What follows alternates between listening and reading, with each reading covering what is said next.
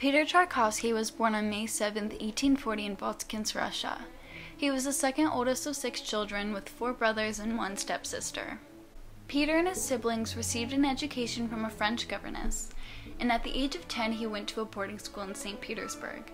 When he was 21, he took music lessons at the Russian Music Society, then enrolled at the St. Petersburg Conservatory.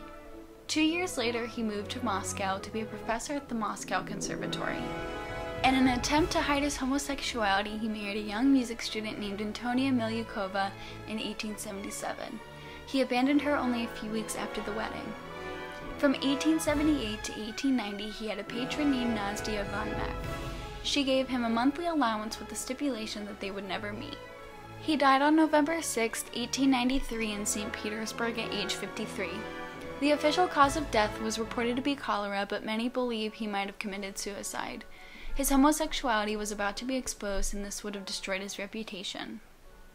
Peter had a collective body of 169 pieces, including symphonies, operas, ballets, concertos, cantatas, and songs. He is well known for Romeo and Juliet, a fantasy overture, but he was most celebrated for his ballets such as The Sleeping Beauty, The Nutcracker, and of course, Swan Lake. Swan Lake is a romantic ballet comprised of four acts. Tchaikovsky had no experience writing ballet music for the professional theater before he wrote Swan Lake. He based Swan Lake on a symphonic scale, and it was one of the first ballets to have a continuously progressing theme from start to finish. The story of Swan Lake is based around two girls, Odette and Odile. Originally, their roles were filled by two separate dancers, but it has long been customary for a single prima ballerina to perform both parts. Swan Lake is a tragic love story about Odette, a pure girl trapped in the body of a swan by an evil sorcerer where only true love can break the spell. Her wish is nearly granted in the form of a prince named Siegfried. He falls in love with the swan princess, but before he can declare his love, her lustful twin, the black swan, tricks and seduces him. He is tricked by the sorcerer who casts a spell on his daughter Odile. Devastated, the white swan leaps off a cliff, killing herself, and in death, she finds freedom. In some versions of the ballet, both Siegfried and Odette die. The ballet was first performed on March 4, 1877 at the Bolshoi Theater in Moscow, Russia.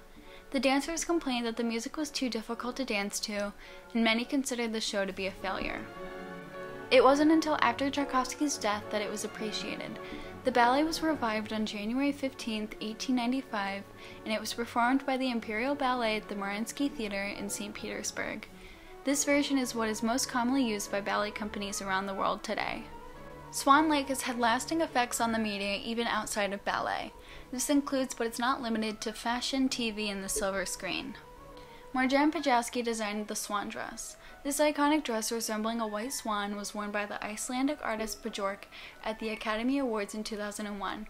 In 2008, the Daily Telegraph voted it the ninth most iconic red carpet dress of all time. The dress was reimagined by Valentino at its spring 2014 couture fashion show, and the dress was parodied in the movies White Chicks as well as an episode of Hannah Montana.